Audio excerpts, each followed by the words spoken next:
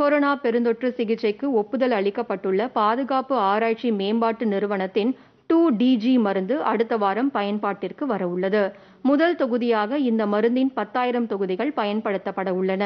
புதுதில்லியில் நேற்று பாதுகாப்பு ஆராய்ச்சி மற்றும் மேம்பாட்டு அமைப்பின் அதிகாரிகள் இதனை தெரிவித்தனர். இந்த பத்தாயிரம் டோஸ் மருந்துகளும் கொரோனா நோயாளிகளுக்கு செலுத்தப்படும் என்று அதிகாரிகள் தெரிவித்தனர். டாக்டர் ஆனந்த் நாராயணன் பட் உட்பட இந்த அமைப்பை சேர்ந்த விஞ்ஞானிகள் குழுவினர் உருவாக்கியுள்ள இந்த மருந்தின் உற்பத்தியை எதிர்கால பயன் கருதி மேம்படுத்துவதற்கான நடவடிக்கைகள் எடுக்கப்பட்டு வருவதாகவும் அந்த அதிகாரிகள் தெரிவித்தனர். கர்நாடக மாநில சுகாதாரத்துறை அமைச்சர் டாக்டர் கே. சுதாகர் நேற்று பாதுகாப்பு ஆராய்ச்சி மேம்பாட்டு அமைப்பின் வளாகத்திற்கு சென்று அங்குள்ள விஞ்ஞானிகளுடன் கலந்துரையாடினார். இந்த அமைப்பின் டூ டிஜி மருந்து கொரோனாவுக்கு எதிரான போரில் வெற்றியை ஏற்படுத்தும் திருப்பு முனையாக இருக்கும் என்று விஞ்ஞானிகள் அமைச்சரிடம் தெரிவித்தனர்.